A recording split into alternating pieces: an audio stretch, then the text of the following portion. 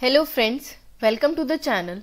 In this video we are going to configure a network with three areas with the help of OSPF routing protocol. In earlier video we have configured the network with two areas using OSPF protocol. So let's start. So OSPF protocol is open shortest path first that is based on the link state routing algorithm where router contain the information of every domain based on that it determines the shortest path and the border routers are known as area border routers that contain all the information and uh, continuously exchanging the information with other area border routers to decide the shortest path. So here we will be using the wildcard mask instead of subnet mask to define the routing but for network configuration we will be using the subnet mask only. So wildcard mask is the inverted subnet mask for example for class A the subnet mask is 255 dot 250 uh, dot 0 dot 0 dot 0 so in binary it can be represented like this 8 ones followed by 3 octets of 0 so if you invert this number you will get the wildcard mask as 0 dot 255 dot 255 Similarly, you can calculate the wildcard mask for class B or class uh, A, uh, class C addressing and for any class less addressing IP addresses as well. So, class less address just convert uh, just convert the subnet mask to the binary notation and invert all zeros to 1 and ones to 0. So now we will be using three networks as we have already used the same network for earlier videos as well. So here every network comprises of one host. You may have multiple hosts within a network or router connected to mul multiple networks.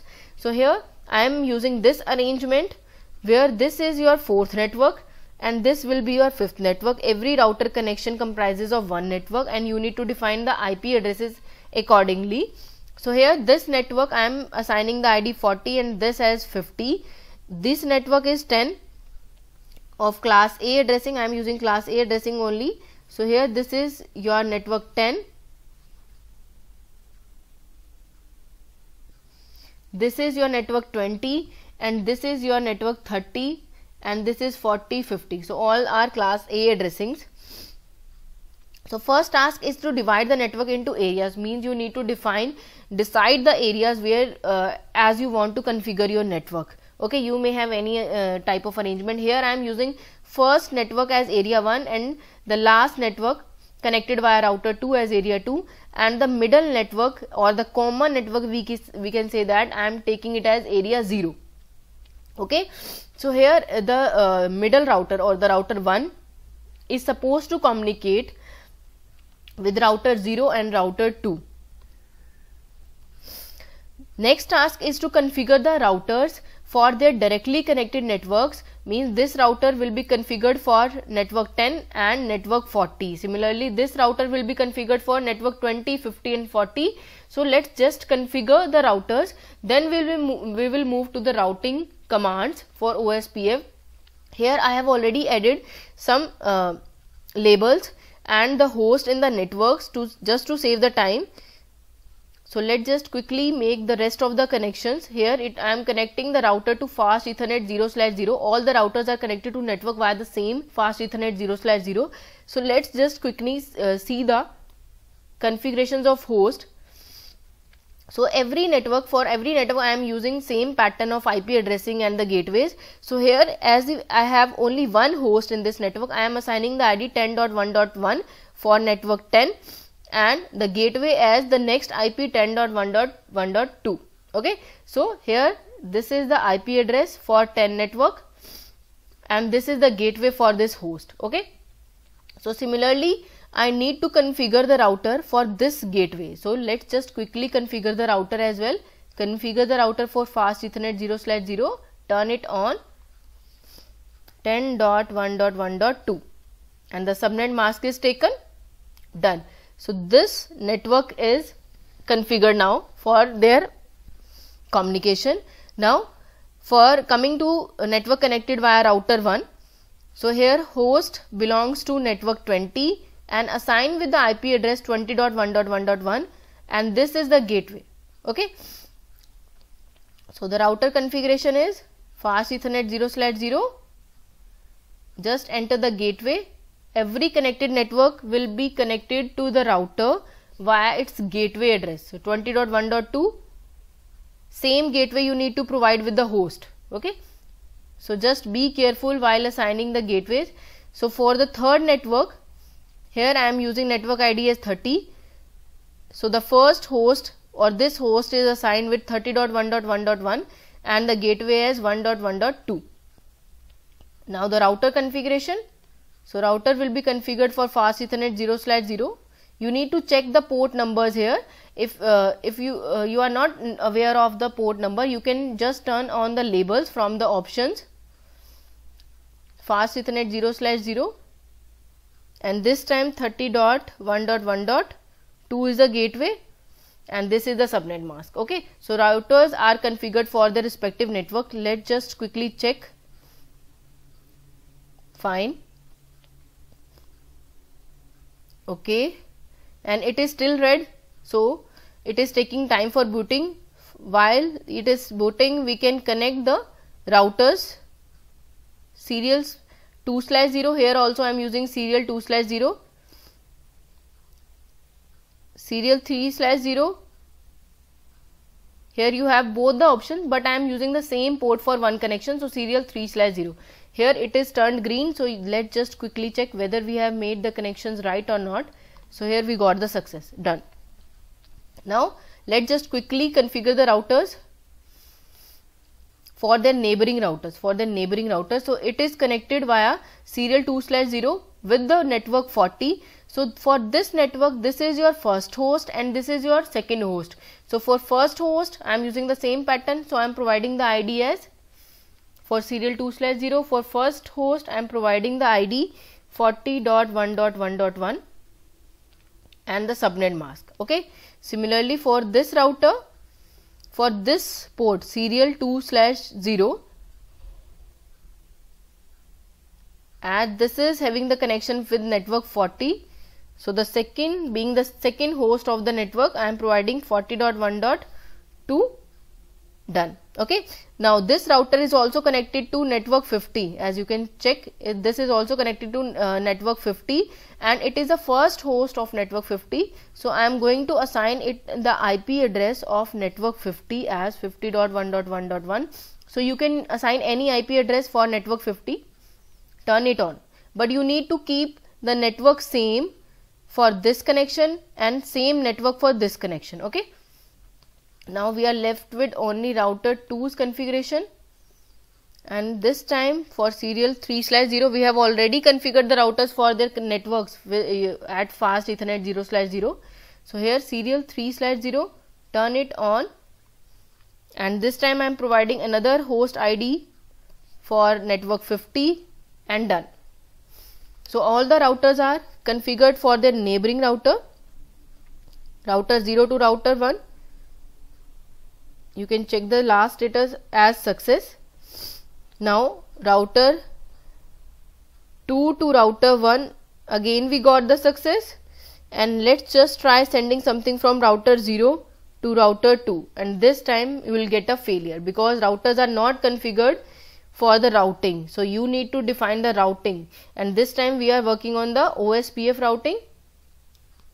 So let's just see the commands for this for router 0 we can say that directly connected network areas are in um, directly connected network in area 1 are 10 and 20 10 and 40 as this is connected to 40 and the network 10 okay? So for these two networks i am taking the area 1 you can you can change the configuration as per your requirement. So for that you need to write the command in in global configuration mode if you open the router for the command line interface you need to enable the router by command uh, en or enable. You can write abbreviations of the command or full forms. And next you need to write the command to enter to global configuration mode as one second.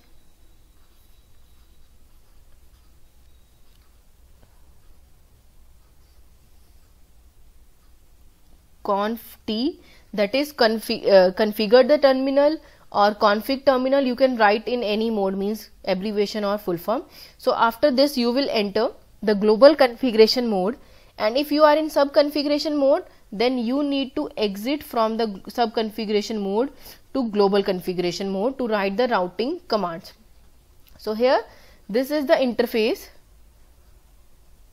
this is the interface for the global configuration mode and for this time I am providing the process ID as 1 process ID as 1 for this router 0 okay you may use any process ID so I am providing the process ID as 1 for this router 0 this means the commands written for OSPF for this router are assigned a particular ID that is 1 okay? For another router the command will be assigned with another id i'm i will be using process id 2 for this router and process id 3 for this router. Right?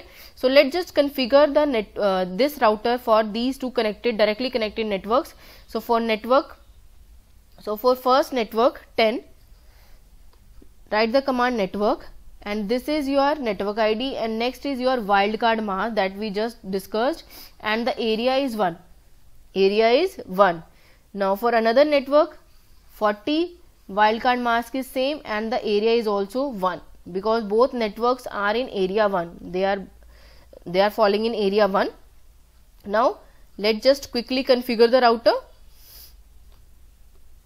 CLI as we are in sub configuration mode you can see exit for uh, detailing of commands for the router configuration, you may check another video. The link is given in the description box. If you have any confusion regarding the uh, global configuration mode, sub configuration mode, etc.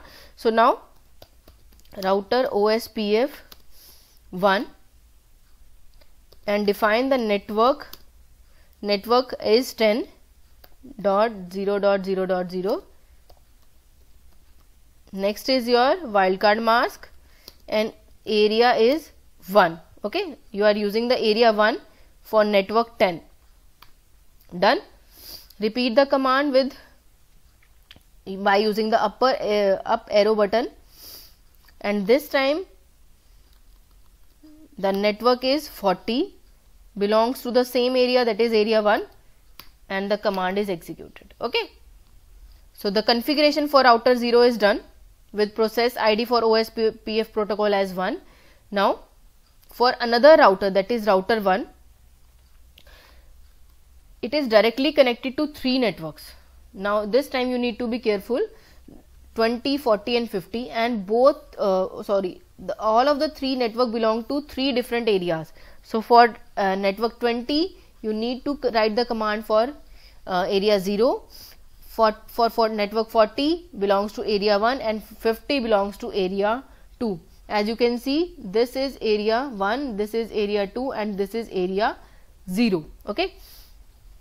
So, here the process ID is 2 for the second router process ID is 2 the command will be network network ID 20 wildcard mask and area is 0 and here for network 40 the area is 1 and last for network 50 area is 2 okay? So let's just configure the router. Go to CLI command line interface mode. In global configuration mode now we need to write the command router OSPF this time process ID is 2 now just configure the OSPF2 for the connected network. So this time I am configuring it for network 21st 0 dot. Next is wildcard mask. And area is 0 as you can see network 20 belongs to area 0 okay so just simply run the command. Done. Repeat the command. This time for area 1 and network is 40 as network 40 belongs to area 1 done now the third network 50 belongs to area. You can see belongs to area 2 so simply run the command for third network. Loading is done for the uh, earlier commands. So you can repeat the command for area 2 and this time network is 50 done. So all uh, router 1 is configured for all the three networks. Done so you can also copy the commands. Let's copy the command for another router third router configuration. So for the third router as it is directly connected to two networks 50 and 30 so you need to and both belongs to area 2 okay so so you need to repeat the command for the same area but with different network. So here the process id i am going to assign is 3 the process id is 3 okay so 3 next area is 2 for both the network 50 and 30 area is 2 so open the router in CLI mode. OSPF ID as 3 and as I had copied the command so simply paste it for network 50. So network 50 belongs to area 2. The command is executed and repeat the command for network 30 that also belongs to area 2. Okay. repeat the command for network 30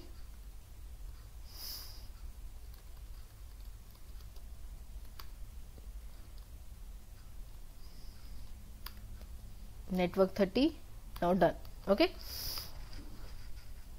so all the routers are configured now. Let's check by sending the packet data unit from router 0 to router 2 and we got the success. That means our OSPF configuration is um, done perfectly. Now let's try sending something from host of network 1 to host of network 3 you may get failure for the first time but we got the success from host of network 3 to network 10 and we also got the success. So that's it for this video. See you in the next video. Till then take care. Bye